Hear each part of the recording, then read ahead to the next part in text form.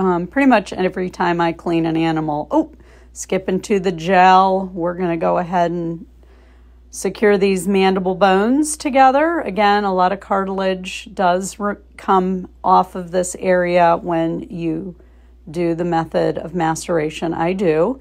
A little gel super glue usually helps. Sometimes I use five minute epoxy. Here I'm going to go in again with the Loctite gel control and secure these uh, ear bones and some of these back areas that did come a little bit loose during the process. Back to the gel for these teeth. I mean, these are the craziest teeth I have ever worked with. This is a beaver, North American beaver, legally trapped in New York.